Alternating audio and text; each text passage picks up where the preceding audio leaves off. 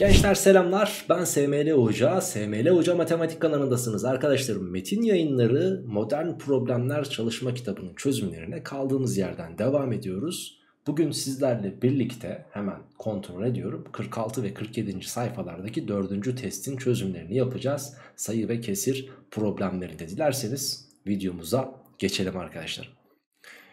Şimdi ilk soruya baktığımız zaman bize demiş ki Aşağıda iki yüzden oluşan bir mezuranın mezura nedir biliyorsunuz. Hani o kıyafet yani terziler kullanır ya genelde böyle hani kıyafetlerin boylarını ölçmek için esnek bir ee, ne diyelim buna metre esnek cetvel tamam mı? Mezuranın beyaz yüzü sıfırdan 100 santimetreye kadar sarı yüzü de yüzden 0 santimetreye olacak şekilde eşit aralıklarla bölünmüş. Yani şuradan nasıl başlıyor? 100 işte şöyle 100 99, 98, 97 diye devam ediyor arkadaşlar. Buna göre K ile L arası kaç santimetre olabilir diye sorulmuş. Şimdi bize de burada bazı böyle belirsiz sayılar vermiş. İşte 4A eksi 1, 3B eksi 2 falan gibi sayılar vermiş. Biz bu A'ları B'leri bulduktan sonra K ve L'yi de bulup yapıştırabiliriz cevabı.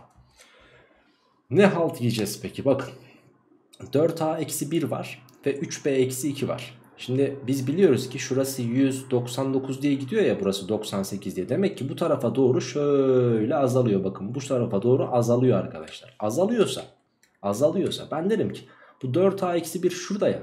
Bak 1 santim küçüğü burası 2 santim küçüğü burası 3 santim küçüğü burası. Yani ben 4a eksi 1'den 3 çıkarınca arkadaşlar 3b eksi 2'ye eşit olacak diyeceğim tamam mı? Şimdi 3b'yi gelin bu tarafa atalım. 4a eksi 3b olsun. Bakın şurada ne var? Eksi 4 var. Eksi 4'ü de karşıya atarsanız burası ne gelir? 2 gelir. Şimdi bu artık cepte. Tamam. Bir tane daha eşitlik lazım bize. O eşitlik de nereden geliyor? Bakın şuradan. Şimdi ne tarafa doğru azalıyordu? Bakın azaldı, azaldı, azaldı, azaldı, azaldı, azaldı. Bu tarafa gittikçe azalıyor. Demek ki 2b artı 14 ten ben 1 2 santim çıkarınca 2b artı 14'ten 2 çıkarınca 3a artı 3'e eşit oluyormuş. Bu da sevgili arkadaşlarım 14'ten 2 çıktı burası 12. 3'ü yanına attım burada 9 kaldı. 2b'yi karşıya attım 3a eksi 2b eşittir. Ne olmuş oldu? 9. Aynı zamanda 4a eksi 3b neydi arkadaşlar? O da 2 idi. Alın size bir tane daha eşitlik. Birinci eşitlik ve ikinci eşitlik. Şimdi ben burada A'ları B'leri tabii ki bulabilirim. Nasıl bulacağım? Şunu 3 ile genişletelim. Bunu da 2 ile genişletelim arkadaşlar. Bu durumda 3 kere 3A 9A yapar. Eksi 6B eşittir 3 kere 9'dan 27 gelir. 2 ile genişletirseniz de 8A eksi 6B eşittir 4 gelir. Üsttekinden alttakini bir güzel çıkarın. Çıkarırsanız 9A'dan 8A çıktı A kaldı. 6B'ler birbirini götürdü ve eşittir 27'den 4 çıktı 23. Bakın A 23'müş. Bize K eksi L kaç olabilir diye sormuştu. A'yı bulduk ya yeter B'yi bulmanıza gerek yok. Ne yapacaksınız?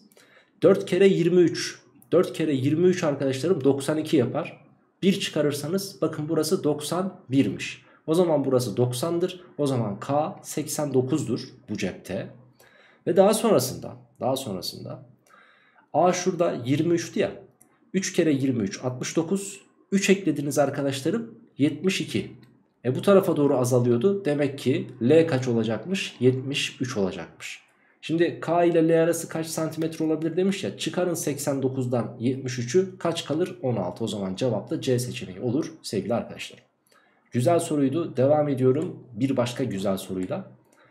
Kuryelik yapan Uğur yüksekliği 230 santimetre olan bir bina kapısından kare dik prizma biçimindeki bir koliyi şekil 1'deki gibi omzuna dikey olarak yerleştirip geçmek istemiş fakat başaramamış. Niye? Çünkü çarpmış tamam mı?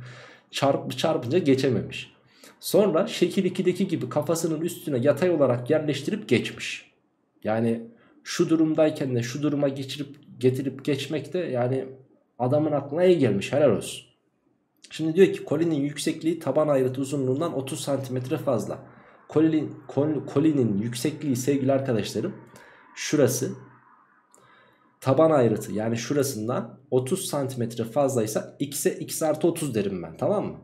Peki Ee, şekil 3'te verildiğine göre ne demiş? Uğur'un boyu ile, bilgi, ile ilgili bilgiler şekil 3'te verildiğine göre kolinin yüksekliğinin alabileceği kaç farklı tam sayı değeri vardır diye sormuş. Bakın şimdi Uğur'un boyu 160 artı 26'dan 186 arkadaşlar.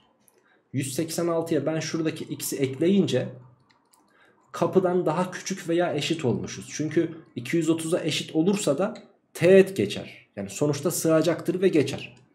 Dolayısıyla arkadaşlar x küçük veya eşittir 186'yı karşıya gönderirseniz eğer 46 yapacaktır. x 46'dan küçük veya eşit bunu kaydedelim. Hop. Bir de şuraya bakıyoruz. Omuz hizası 160 santimetreydi. Bakın şurası 160. Bir de burada x artı 30'umuz var. Yani 190 yapar 160 ile 30'u toplarsanız.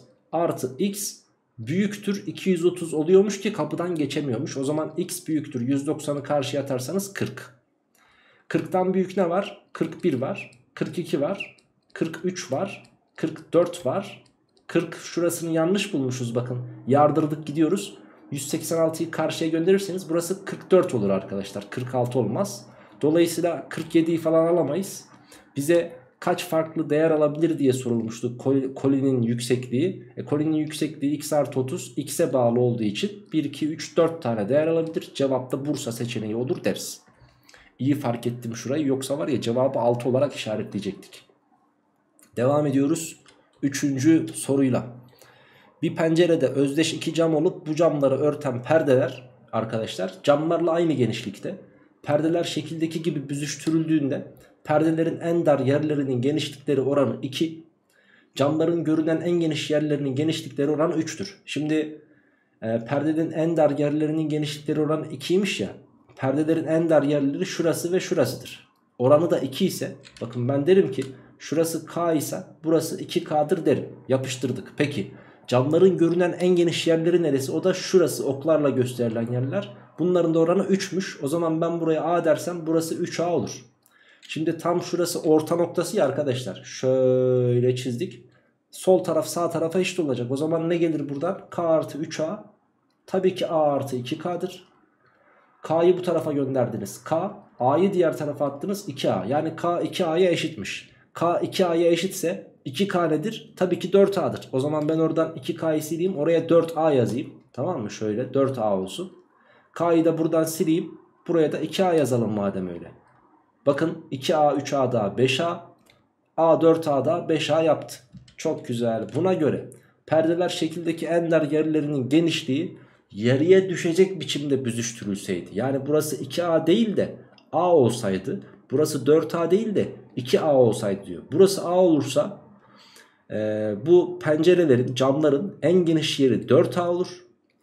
Burası 2A ise de buranın en geniş yeri 3A olur arkadaşlar. Ve demiş ki camların görünen en geniş yerlerinin genişlikleri oranı aşağıdakilerden hangisi olurdu? Ya 3 bölü 4 ya da 4 bölü 3 olurdu. Şıklarımızda 4 bölü 3 olduğu için cevap C seçeneğidir diyebiliriz. Hem de gönül rahatlığıyla. Tamam. Hadi bakalım. Geçtik 4'e. Yeni açılan bir matematik müzesinin gişesinde sivil biletleri 15 liradan, öğrenci biletleri de 10 liradan satışa sunulmuş arkadaşlar. 7 yaş altındaki çocuklar müzeye ücretsiz alınıyormuş. Müzenin açılış gününün sonunda aşağıdaki bilgiler kaydedilmiş. Bakın demiş ki müzeye 2000 tane ziyaretçi giriş yapmış. Eyvallah. Müzeye giriş yapan ziyaretçilerden 250 tanesi 7 yaş altı çocuk yani 250 tanesinden para alınmamış. Geriye kalan 1750 tanesinden para alınmış arkadaşlar. Toplam hasılatta 21.500 liraymış. Şimdi bir siviller var. Bir siviller var. Bir de öğrenciler var para alınan. Sivil A tane ise öğrenciler de sevgili arkadaşlarım 1750 eksi A tanedir diyebiliriz. Ve sivillerden 15'er lira koparılırken öğrencilerden 10 lira para koparılıyormuş tamam mı? Şimdi gelelim toplam hasılata. 15 ile A'yı çarparsam sivillerden elde edilen hasılatı.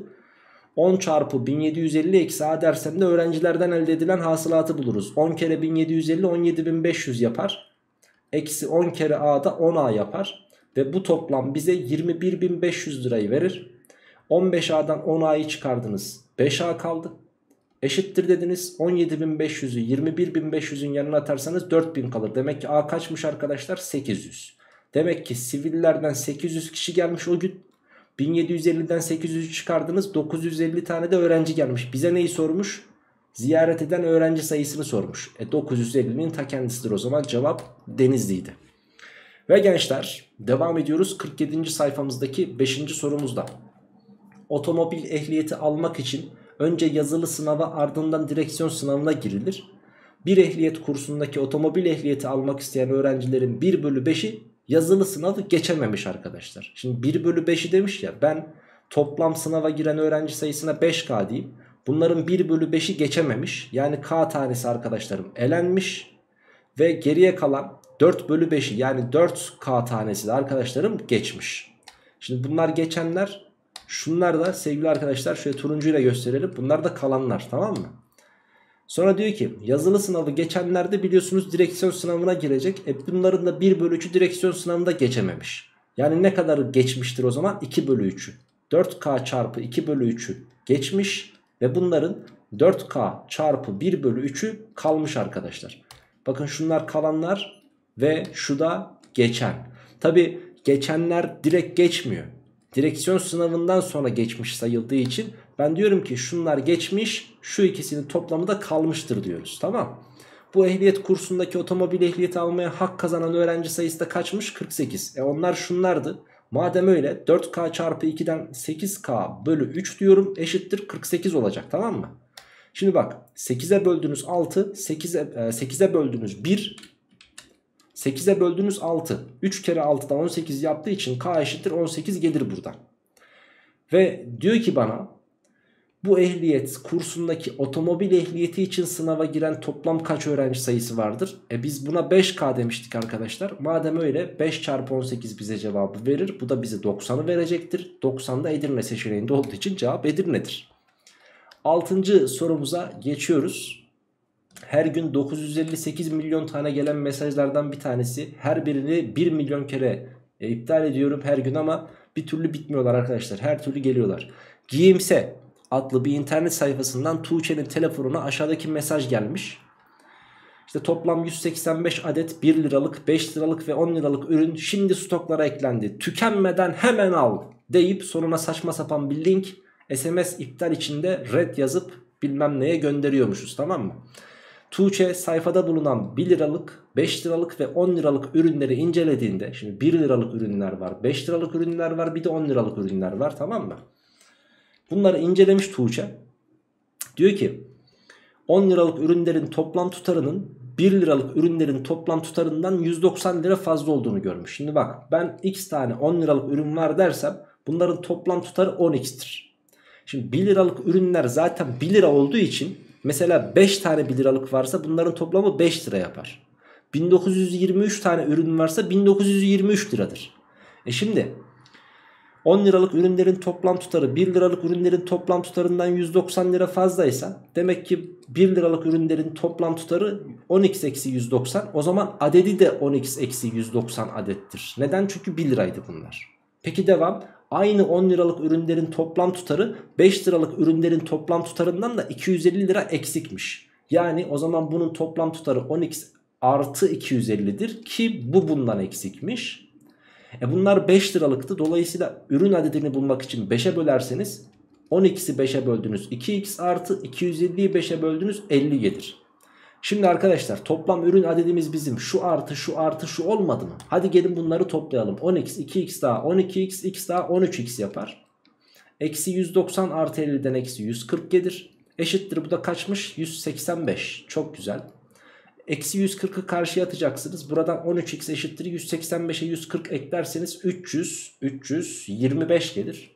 325 gelir aynen. Ve her iki tarafı 13'e bölerseniz 32'nin içerisinde 3 2 defa 26 kalan 6 65'in içerisinde 5 defa. Yani x kaçmış arkadaşlar 25'miş.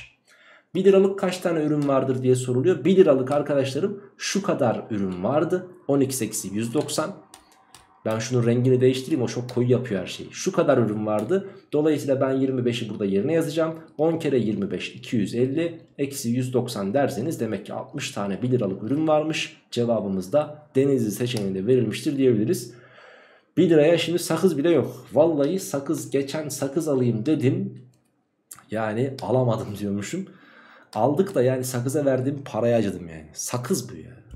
Çiğnemeyi de sevmem de ne bileyim böyle midem mi yanmış ne? Ama sakız bu yani. Eşit aralıklı mavi çizgiler güzel bir soru arkadaşlarım dikkatli dinleyin. Eşit aralıklı mavi çizgiler ve eşit aralıklı pembe çizgiler ile ölçeklendirilmiş dik silindir biçimdeki bardağa farklı zamanlarda aşağıdaki gibi su konulmuş. Şekildeki her iki suyun da bardak içindeki yüksekliği santim birimine göre neymiş arkadaşlar? Tam sayıymış. Tamam bu cepte. Şimdi Esin arkadaşımız bu bardakla herhangi bir mavi çizgiye kadar su doldurup tamamını içtikten sonra bir kez de e, herhangi bir pembe çizgiye kadar doldurup tamamını içmiş. Önce mavi çizginin birine kadar dolduruyor bunu içiyor. Bardak tamamen boşaldıktan sonra bu sefer de mavi çizgilerden birine kadar tamamen dolduruyor ve içiyor. Esin'in içtiği bu iki suyun bardak içindeki yükseklikleri toplamı 26 santimetre olduğuna göre ilk içtiği suyun bardaktaki yüksekliği nedir diye sormuş. Bakın ilk başta ikisi de sıfır. Biz şunu görmemiz lazım burada.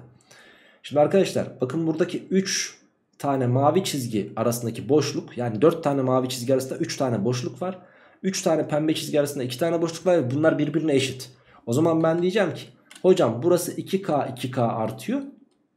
Burası 3K 3K artıyor ki tam şurada 6K'da buluşuyorlar. Tamam demek ki burası da 3K. Şimdi o zaman ben şunu diyorum madem bunlar tam sayı.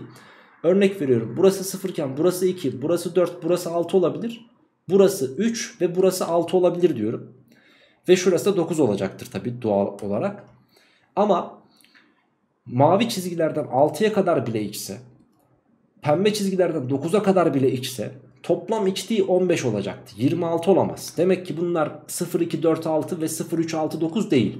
O zaman en küçük en küçük asalla genişletelim bunları. Yani 0 iken 2 ile genişlettim en küçük asal. 4, 8, 12 olabilir. Burası da 0, 6, 12 ve 18 olabilir arkadaşlar. Bu durumdayken 26'yı yakalayabilir miyiz? Yakalarız. Bakın 8 ve 18'in toplamı 26 olduğu için demek ki önce mavi çizgilerde 8'e kadar sonra pembe çizgilerde 18'e kadar doldurmuş içmiş. Demek ki toplamda 26 santimetre içmiş. Bize ilk doldurduğunu soruyordu. Yani maviyi soruyordu. Cevap 8 olacaktı arkadaşlar. Ve son soru 8. sorumuz. Bir vişne bahçesi olan Alper 10 kilo vişneden ya 30 kilo vişne suyu. Şimdi bakın şöyle diyelim. E, bunu nereye çözelim? Şuraya çözelim. Vişne suyu 10 kilo vişneden yalnız. 10 kilo vişne topladı Alper. Gitti vişne suyundan tamam mı? 30 kilo. Ondan sonra e, reçelden vişne reçelinden 20 kilo yapabiliyormuş. Ve marmelatından da vişnenin marmelatı marlemat yazıyordu. Marmelat Öyle yazıyor değil mi? Marmelat nasıl yazıyor? Marmelat tamam. Marmelattan da sevgili arkadaşlarım 6 kilo elde edebiliyormuş. Bu bahçeden bir günde en az 120 kilo vişne toplanabilmekte. Şimdi Alper günlük toplanan vişnenin 3 bölü 5'ini vişne suyuna 80 kilosunu vişne reçeline geri kalanını ise marmelat için ayırıyor. Buna göre 300 kilo vişnenin toplandığı bir gün diyor. Şimdi 300 kiloyu topladık. Gençler burası kaç katına çıktı? Tabii ki 30 katına çıktı. O zaman arkadaşlar 30 katına çıktığına göre ben diyorum ki bu 300'ün önce 3 bölü 5'ini bir bulalım. Yani onu bir vişne suyu için ayıralım. 5'e böldüm 5'e böldüm 60. 3 kere 60 180. Şimdi elimizde 300 kilo e, vişne var ya arkadaşlar. 300 kilo vişne var. Ben bunun 180 kilosunu 180 kilosunu vişne suyu için kullanacağım. Bakın ona 30 veriyordu. Yani 1'e 3 veriyor. O zaman 183 ile çarpacaksın 540 litre sevgili arkadaşlar e, kilo demiş değil mi? 540 kilo vişne suyu elde edeceğiz. Bu cepte. Şimdi reçele geçelim. Ona 20 veriyor yani 1'e 2 veriyor ve 80 kilo kullan demiş arkadaşlar. Neye? Ee, vişne reçeline. E şimdi o zaman 1'e 2 veriyorsa 80'e 160 verir. Bu da cepte. Marmelata bakıyoruz. 10'a 6 veriyor. E, marmelat da geri kalanıydı. Şimdi 180 kullandık. E, 80 daha kullandık. 260. E, 300 300 kilo vardı. Geriye kaldı 40 kilo. Ona 6 elde ediyorsak 40'a kaç elde ederiz? 4 katıysa 4 katı 24 yapar. Demek ki 24 kiloda marmelat elde ediyormuş. Bize demiş ki bir günde yapılan toplam vişne suyu, vişne reçeli, marmelat miktarı toplam kaç kilogramdır? E toplayalım o zaman 540, 160 daha 700 yapar, 24 daha 724 yapar. Cevap da Edirne seçeneği olmuş olur böylelikle. Evet arkadaşlarım bu videomuzun da sonuna geldik. Bir diğer videoda yani 5. testte görüşmek üzere. Sizleri seviyorum. Hoşçakalın, sağlıkla kalın ve tabii ki bol bol matematik çalışmayı da lütfen unutmayın.